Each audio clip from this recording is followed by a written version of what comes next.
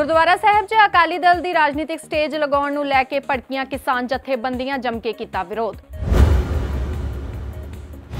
ਨਵਜੋਤ ਸਿੰਘ ਸਿੱਧੂ ਦੀ ਤਾਜਪੋਸ਼ੀ ਨੂੰ ਬੀਜੇਪੀ ਨੇ ਦੱਸਿਆ ਡਰਾਮਾ, ਪੰਜਾਬ ਪ੍ਰਧਾਨ ਅਸ਼ਵਨੀ ਸ਼ਰਮਾ ਨੇ ਦਿੱਤਾ ਵੱਡਾ ਬਿਆਨ। ਕਿਸਾਨਾਂ ਵੱਲੋਂ ਸਾਰੀਆਂ ਰਾਜਨੀਤਿਕ ਪਾਰਟੀਆਂ ਨੂੰ ਚੇਤਾਵਨੀ, ਚੋਣਾਂ ਵੇਲੇ ਪਿੰਡਾਂ 'ਚ ਆਉਣ ਤੇ ਹੋਵੇਗਾ ਵਿਰੋਧ। ਸਤਿ ਸ਼੍ਰੀ ਅਕਾਲ, ਤੁਸੀਂ ਦੇਖ ਰਹੇ ਹੋ ਦੈਨਿਕ ਸਵੇਰਾ ਟੀਵੀ, ਮੈਂ ਰਜਿੰਦਰ ਕੌਰ। ਕਿਸਾਨ ਜਥੇਬੰਦੀਆਂ ਵੱਲੋਂ ਲਗਾਤਾਰ ਰਾਜਨੀਤਿਕ ਪਾਰਟੀਆਂ ਦਾ ਵਿਰੋਧ ਕੀਤਾ ਜਾ ਰਿਹਾ ਹੈ। ਪਾਰਟੀਆਂ ਨੂੰ ਗੁਰਦੁਆਰਾ ਸਾਹਿਬ ਜਾਂ ਕਿਸੇ ਹੋਰ ਧਾਰਮਿਕ ਜਗ੍ਹਾ ਤੇ ਰਾਜਨੀਤਿਕ ਸਮਾਗਮ ਕਰਨ ਦੀ ਮਨਾਹੀ ਹੈ। ਅਜਿਹਾ ਹੀ ਮਾਮਲਾ ਫਿਲੌਰ ਵਿਖੇ ਸਾਹਮਣੇ ਆਇਆ, ਜਿੱਥੇ ਗੁਰਦੁਆਰਾ ਮੌ ਸਾਹਿਬ ਵਿਖੇ ਅਕਾਲੀ ਦਲ ਵੱਲੋਂ ਰਾਜਨੀਤਿਕ ਸਮਾਗਮ ਕਰਵਾਇਆ ਜਾ ਰਿਹਾ ਸੀ, ਪਰ ਕਿਸਾਨ ਜਥੇਬੰਦੀਆਂ ਵੱਲੋਂ ਮੌਕੇ ਤੇ ਪਹੁੰਚ ਕੇ ਇਸ ਸਮਾਗਮ ਨੂੰ ਰੱਦ ਕਰਵਾਇਆ ਗਿਆ। ਇਸ ਮੌਕੇ ਬੀਕੇਯੂ ਕਾਦੀਆਂ ਦੀ ਕਿਸਾਨ ਜਥੇਬੰਦੀ ਮੌਕੇ ਤੇ ਪਹੁੰਚੀ ਅਤੇ ਗੁਰਦੁਆਰਾ ਸਾਹਿਬ 'ਚ ਲਗਾਈ ਗਈ ਰਾਜਨੀਤਿਕ ਸਟੇਜ ਨੂੰ ਹਟਾਇਆ। ਇਸ ਮੌਕੇ ਕਿਸਾਨਾਂ ਵੱਲੋਂ ਇੱਕ ਵੀਡੀਓ ਵੀ ਬਣਾਈ ਗਈ, ਜਿਸ 'ਚ ਸਾਫ਼ ਦਿਖਾਈ ਦੇ ਰਿਹਾ ਹੈ ਕਿ ਗੁਰਦੁਆਰਾ ਸਾਹਿਬ 'ਚ ਪਹਿਲੇ ਵਾਂਗ ਕੁਰਸੀਆਂ ਲਗਾ ਕੇ ਰਾਜਨੀਤਿਕ ਸਟੇਜ ਲਗਾਈ ਗਈ ਸੀ। ਵਾਹਿਗੁਰੂ ਜੀ ਕਾ ਖਾਲਸਾ, ਵਾਹਿਗੁਰੂ ਜੀ ਕੀ ਫਤਿਹ। ਆ ਬੀਜੇਪੀ ਦਾ ਦੂਜਾ ਰੂਪ, ਸ਼੍ਰੋਮਣੀ ਅਕਾਲੀ ਦਲ ਅਕਾਲੀ ਦਲ ਕਹਿਣਾ ਵੀ ਜਿਹੜਾ ਲਾਹਣ ਤੇ ਇਹਨਾਂ ਨੂੰ, ਸ਼੍ਰੋਮਣੀ ਬਾਦਲ ਦਲ, ਜਿਨ੍ਹਾਂ ਨੇ ਪਹਿਲਾਂ ਤੋਂ ਹੀ ਸਿੱਖੀ ਦੇ ਨਾਲ ਘਾਣ ਕੀਤਾ ਤੇ ਅੱਜ ਵੀ ਸਿੱਖੀ ਦਾ ਘਾਣ ਕਰ ਰਿਹਾ ਤੇ ਮਰਿਆਦਾ ਦੀ ਬੇਪਤੀ ਕਰ ਰਿਹਾ। ਗੁਰਦੁਆਰਾ ਮੌ ਸਾਹਿਬ, ਹਲਕਾ ਫਲੋਰ ਦੇ ਵਿੱਚ ਗੁਰੂ ਮਹਾਰਾਜ ਸਟੇਜ ਦੇ ਸਾਹਮਣੇ ਦੇਖੋ ਕਿੱਦਾਂ ਪੈਲਸ ਬਣਾ ਕੇ ਖੜੇ ਆ। ਤੇ ਅੱਜ ਇਹਦਾ ਘਰਾਓ ਕਰਨ ਦੇ ਲਈ, ਇਹਦਾ ਵਿਰੋਧਤਾ ਕਰਨ ਦੇ ਲਈ ਬੀਕੇਯੂ ਕਾਦੀਆਂ ਤੇ ਬਾਕੀ ਜਿਨ੍ਹਾਂ ਦੇ ਮੈਂਬਰ ਸਾਰੇ ਆ ਪਹੁੰਚੇ ਆ। ਸੋ ਆਓ, ਜਿੱਥੇ ਤੱਕ ਵੀ ਮੇਰੀ ਆਵਾਜ਼ ਜਾਂਦੀ ਆ ਉਹ ਇਹਨਾਂ ਦਾ ਵਿਰੋਧਤਾ ਕਰੀਏ। ਗੁਰੂ ਘਰ ਦੀ ਮਰਿਆਦਾ ਨੂੰ ਕਾਇਮ ਰੱਖਣ ਦੇ ਲਈ ਤੇ ਇਹਨਾਂ ਲੀਡਰਾਂ ਦੇ ਖਿਲਾਫ ਖੜੇ ਹੋਈਏ ਤਾਂ ਜੋ ਸਾਡਾ ਕਿਸਾਨੀ ਸੰਘਰਸ਼ ਕਾਮਯਾਬ ਹੋ ਸਕੇ। ਵਾਹਿਗੁਰੂ ਜੀ ਕਾ ਖਾਲਸਾ, ਵਾਹਿਗੁਰੂ ਜੀ ਕੀ ਫਤਿਹ।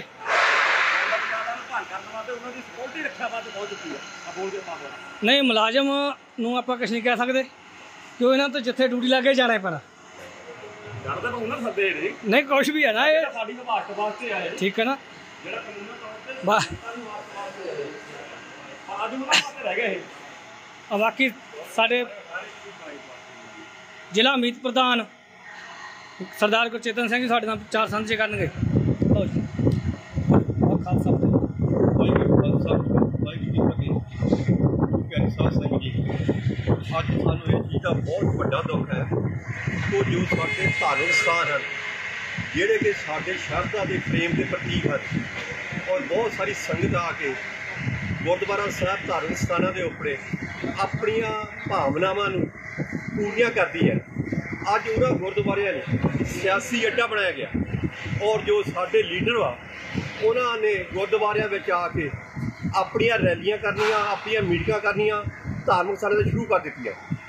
ਇਹਨਾਂ ਦੀ ਅਸੀਂ ਹੋਰ ਜੋਰ ਨਿੰਦਾ ਕਰਦੇ ਹਾਂ ਤਾਂ ਕਿ ਗੁਰਦੁਆਰਿਆਂ ਸਾਹਿਬ ਨੂੰ ਜਿਹੜੀ ਆ, ਇਹ ਸੰਗਤ ਦਾ ਸਥਾਨ ਆ ਸੰਗਤ ਦੀ ਭਾਵਨਾ ਨੂੰ ਠੇਸ ਨਾ ਬਣਾਈ ਜਾਵੇ।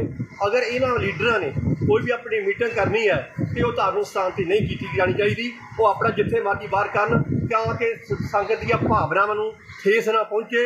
ਇਸ ਕਰਕੇ ਅਸੀਂ ਵਾਰ-ਵਾਰ ਅਪੀਲ ਕਰਦੇ ਹਾਂ ਕਿ ਜੇ ਧਾਰਮਿਕ ਸਥਾਨਾਂ ਨੂੰ ਮੀਟਿੰਗਾਂ ਦਾ ਅੱਡਾ ਬਣਾਇਆ ਜਾਏਗਾ ਤੇ ਕਿਸਾਨ ਦੁਨੀਆ, ਸਮੁੱਚਾ ਆਵਾਮ ਇਹਦਾ ਜ਼ਿਆਦਾ ਵਿਰੋਧ ਕਰੇਗਾ ਔਰ ਇਸ ਇਸ ਲਈ ਅਸੀਂ ਫਿਰ ਦੁਬਾਰਾ ਅਪੀਲ ਕਰਦੇ ਹਾਂ ਕਿ ਗੁਰਦੁਆਰਿਆਂ ਨੂੰ ਸਿਆਸੀ ਅੱਡਾ ਨਾ ਬਣਾਇਆ ਜਾਵੇ। ਵਾਹਿਗੁਰੂ ਜੀ ਕਾ ਖਾਲਸਾ, ਵਾਹਿਗੁਰੂ ਜੀ ਕੀ ਫਤਿਹ। ਭਾਰਤੀ ਜਨਤਾ ਪਾਰਟੀ ਵੱਲੋਂ ਅੱਜ ਲੁਧਿਆਣਾ ਵਿੱਚ ਮੀਟਿੰਗ ਕੀਤੀ ਗਈ। ਇਸ ਦੀ ਅਗਵਾਈ ਭਾਜਪਾ ਦੇ ਸੂਬਾ ਪ੍ਰਧਾਨ ਅਸ਼ਵਨੀ ਸ਼ਰਮਾ ਨੇ ਕੀਤੀ। ਇਸ ਮੌਕੇ ਅਸ਼ਵਨੀ ਸ਼ਰਮਾ ਨੇ ਦੱਸਿਆ ਕਿ 2022 ਦੀਆਂ ਚੋਣਾਂ ਨੂੰ ਲੈ ਕੇ ਇਹ ਉਹਨਾਂ ਦੀ ਵਰਕਿੰਗ ਕਮੇਟੀ ਦੀ ਮੀਟਿੰਗ ਸੀ। ਨਵਜੋਤ ਸਿੱਧੂ ਨੂੰ ਪੰਜਾਬ ਕਾਂਗਰਸ ਦਾ ਪ੍ਰਧਾਨ ਬਣਾਏ ਜਾਣ ਤੇ ਉਹਨਾਂ ਨੇ ਕਿਹਾ ਕਿ ਕਾਂਗਰਸ ਪਾਰਟੀ ਵੱਲੋਂ ਬੀਤੇ ਦਿਨੀ ਜੋ ਡਰਾਮਾ ਰਚਿਆ ਗਿਆ, ਉਹ ਸਭ ਦਿੱਲੀ ਵਿੱਚ ਤਿਆਰ ਹੋਇਆ ਹੈ। ਉਹਨਾਂ ਇਹ ਵੀ ਕਿਹਾ ਕਿ ਆਪਣੀ ਹੀ ਸਰਕਾਰ ਦੀਆਂ ਨਾਕਾਮੀਆਂ ਲੁਕਾਉਣ ਲਈ ਇਹ ਸਭ ਕੀਤਾ ਗਿਆ। ਕੈਪਟਨ ਸਰਕਾਰ ਸੂਬੇ ਦੀ ਜਨਤਾ ਦੇ ਨਾਲ ਕੀਤੇ ਵਾਅਦੇ ਵੀ ਪੂਰੇ ਨਹੀਂ ਕਰ ਸਕੀ ਅਤੇ ਨਾ ਹੀ ਬੇਅਦਬੀ ਮਾਮਲਿਆਂ ਵਿੱਚ ਇਨਸਾਫ ਦਿਵਾ ਸਕੀ ਹੈ। ਲੋਕਾਂ ਦਾ ਧਿਆਨ ਭਟਕਾਉਣ ਲਈ ਹੀ ਇਹ ਡਰਾਮਾ ਰਚਿਆ ਗਿਆ ਹੈ। ਇਸ ਲਈ ਲੋਕ ਹੁਣ ਕਾਂਗਰਸ ਨੂੰ ਮੂੰਹ ਨਹੀਂ ਲਗਾਉਣਗੇ। ਨਵਜੋਤ ਸਿੰਘ ਸਿੱਧੂ ਜੀ ਦਾ ਪ੍ਰਧਾਨ ਬਣਨਾ ਹੈ। ਇਹ ਕਾਂਗਰਸ ਦਾ ਨਿਰਣੇ ਹੈ ਔਰ ਕਿਸੇ ਵੀ ਪਾਰਟੀ ਨੂੰ ਆਪਣਾ ਪ੍ਰਧਾਨ ਬਣਾਉਣ ਦਾ ਅਧਿਕਾਰ ਹੈਗਾ। ਲੇਕਿਨ ਜਿਸ ਪ੍ਰਕਾਰ ਇਹ ਸਾਰਾ ਘਟਨਾਕ੍ਰਮ ਹੋਇਆ ਹੈ, ਇਹ ਸਕ੍ਰਿਪਟ ਮੈਨੂੰ ਲੱਗ- ਲੱਗਦਾ ਹੈ ਕਿ ਇਹਦੀ ਪਟਕਥਾ ਜਿਹੜੀ ਹੈ ਉਹ ਦਿੱਲੀ 'ਚ ਲਿਖੀ ਗਈ।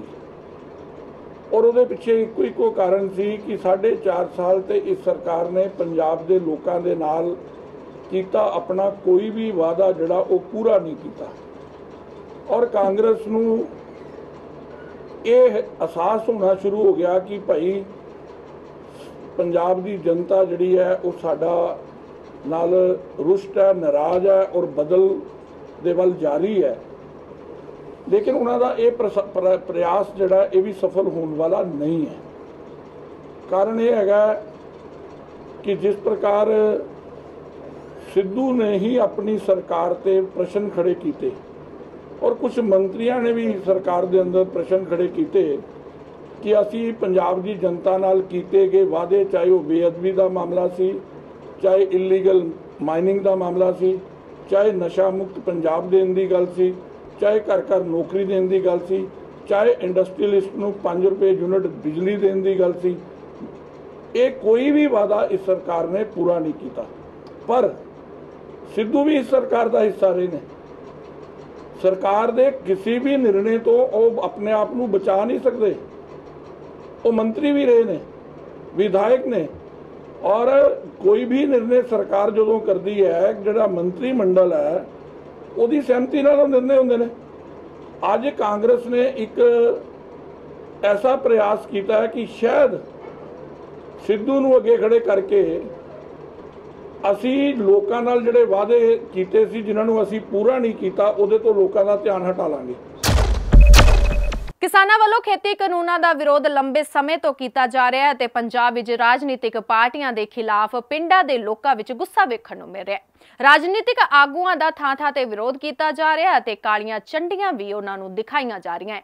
ਪਿੰਡਾਂ ਦੇ ਲੋਕਾਂ ਵੱਲੋਂ ਰਾਜਨੀਤਿਕ ਆਗੂਆਂ ਨੂੰ ਪਿੰਡਾਂ ਵਿੱਚ ਦਾਖਲ ਨਹੀਂ ਹੋਣ ਦਿੱਤਾ ਜਾ ਰਿਹਾ ਅਤੇ ਨੋ ਐਂਟਰੀ ਦੇ ਬੋਰਡ ਵੀ ਲਗਾਏ ਜਾ ਰਹੇ ਨੇ। ਇਸੇ ਲੜੀ ਦੇ ਵਿੱਚ ਜ਼ਿਲ੍ਹਾ ਸੰਗਰੂਰ ਦੇ ਪਿੰਡ ਰੋਗਲਾ ਵਿੱਚ ਸਿਆਸੀ ਪਾਰਟੀਆਂ ਦੇ ਲੱਗੇ ਬੋਰਡ ਉਤਾਰੇ ਗਏ, ਜਿਸ ਵਿੱਚ ਖਾਸ ਤੌਰ ਤੇ ਪੰਜਾਬ ਕਾਂਗਰਸ ਦੇ ਨਵੇਂ ਬਣੇ ਪ੍ਰਧਾਨ ਨਵਜੋਤ ਸਿੰਘ ਸਿੱਧੂ ਦੇ ਵਧਾਈਆਂ ਵਾਲੇ ਬੋਰਡ ਸਨ।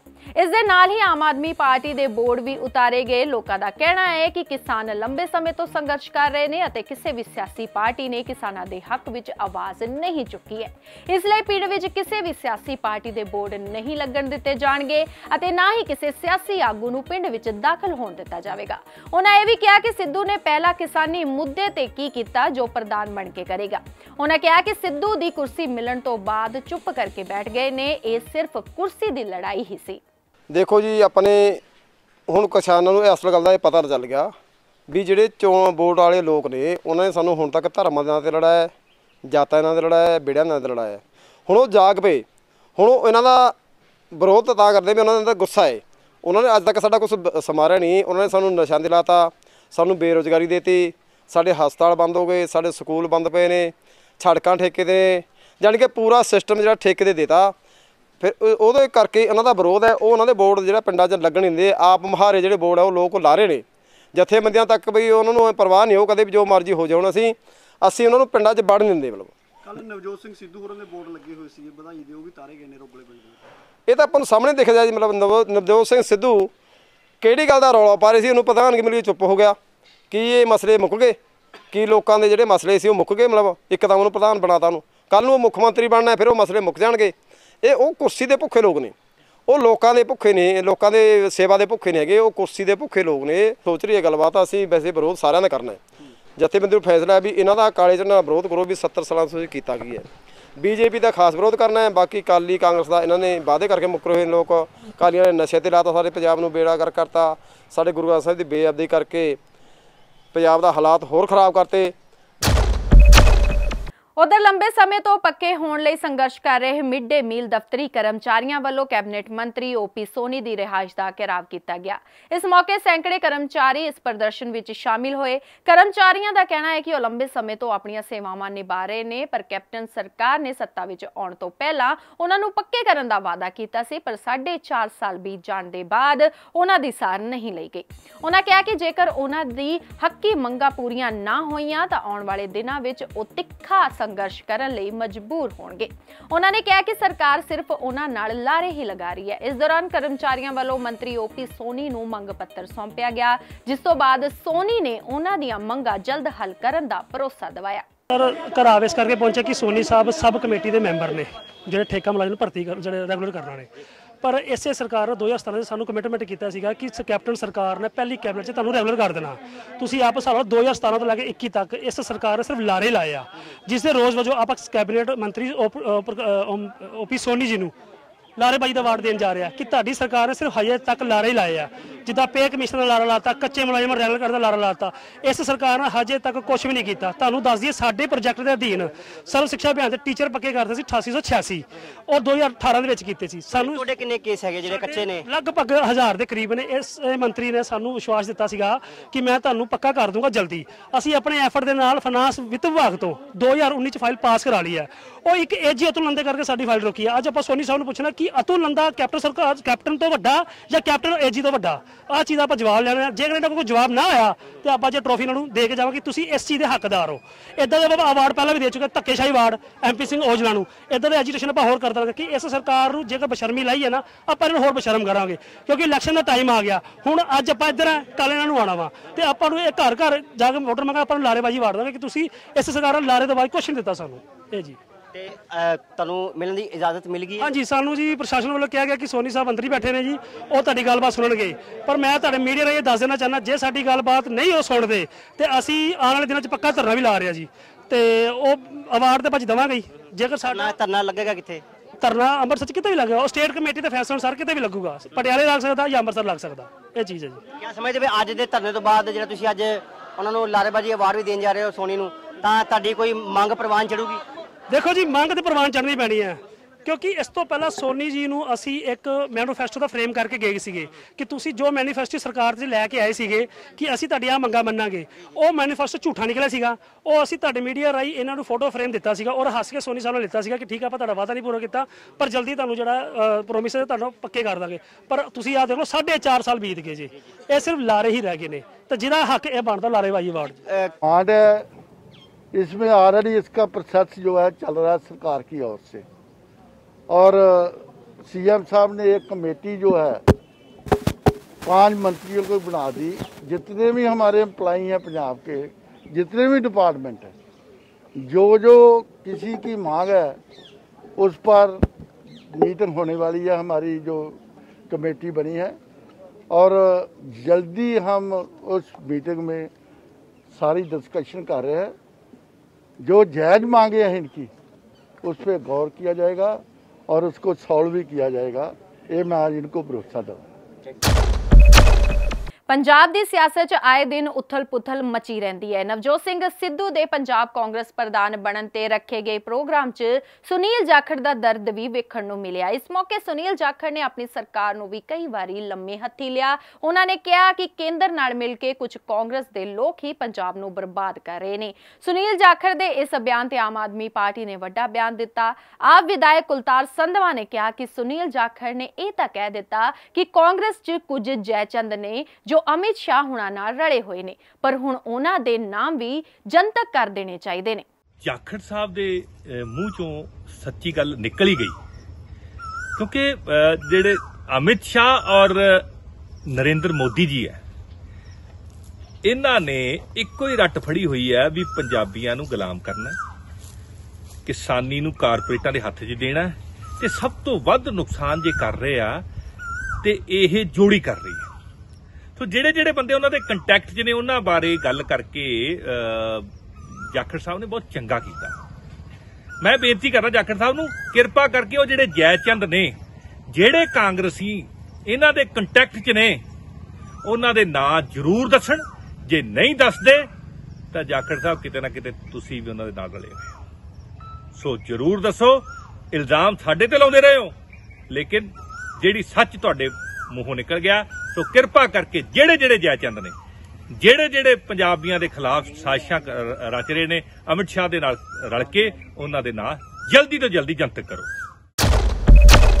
ਪੰਜਾਬ ਦੀਆਂ ਖੰਡ ਮਿੱਲਾਂ ਨੂੰ ਆਤਮ ਨਿਰਭਰ ਬਣਾਉਣ ਦੀਆਂ ਤਿਆਰੀਆਂ ਪੰਜਾਬ ਸਰਕਾਰ ਵੱਲੋਂ ਕੀਤੀਆਂ ਜਾ ਰਹੀਆਂ ਨੇ। ਹੁਣ ਅਲਕੋਹਲ ਵੀ ਪੰਜਾਬ ਦੀਆਂ ਖੰਡ ਮਿੱਲਾਂ ਵਿੱਚ ਤਿਆਰ ਕੀਤੀ ਜਾਵੇਗੀ। ਦੱਸ ਦਈਏ ਕਿ ਇਸ ਅਭਿਆਸ ਤਹਿਤ ਗੁਰਦਾਸਪੁਰ ਅਤੇ ਬਟਾਲਾ ਵਿੱਚ ਨਵੇਂ ਸ਼ੂਗਰ ਪਲਾਂਟ ਅਤੇ ਡਿਸਟਿਲਰੀਆਂ ਸਥਾਪਿਤ ਕਰਨ ਦੀ ਸ਼ੁਰੂਆਤ ਕੀਤੀ ਗਈ ਹੈ।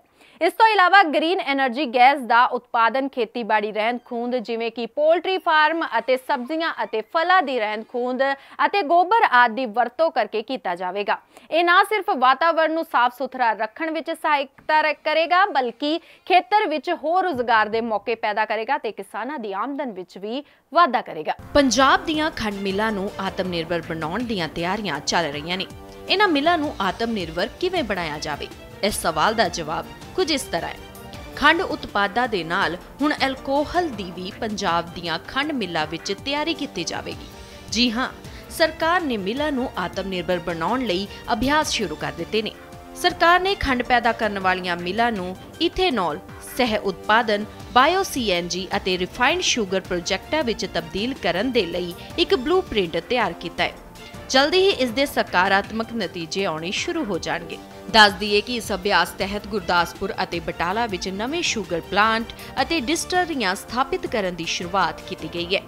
ਸਰਕਾਰੀ ਖੰਡ ਮਿਲਾਂ ਨੂੰ ਸਵੈ ਨਿਰਭਰ ਬਣਾਉਣ ਅਤੇ ਊਰਜਾ ਦੇ ਨਵਿਆਉਣ ਯੋਗ ਸਰੋਤਾਂ ਨੂੰ ਉਤਸ਼ਾਹਿਤ ਕਰਨ ਲਈ ਗੰਨੇ ਦੇ ਬਚੇ ਪ੍ਰੈਸ ਗਾਰੇ ਤੋਂ ਗ੍ਰੀਨ એનર્ਜੀ ਦੀ ਪੈਦਾਵਾਰ ਕਰਨ ਦੀ ਕਵਾਇਦ ਵੀ ਸਰਕਾਰੀ ਵਿਭਾਗ ਨੇ ਸ਼ੁਰੂ ਕਰ ਦਿੱਤੀ ਹੈ। ਇਸ ਦੇ ਲਈ ਸਰਕਾਰੀ ਖੰਡ ਮਿਲਾਂ ਨੇ ਹਾਲ ਹੀ ਵਿੱਚ ਪ੍ਰਾਈਵੇਟ ਪਬਲਿਕ ਪਾਰਟਨਰਸ਼ਿਪ ਅਧੀਨ ਬਾਇਓ ਸੀਐਨਜੀ ਸਕੀਮਾਂ ਸਥਾਪਿਤ ਕਰਨੀਆਂ ਸ਼ੁਰੂ ਕਰ ਦਿੱਤੀਆਂ ਨੇ।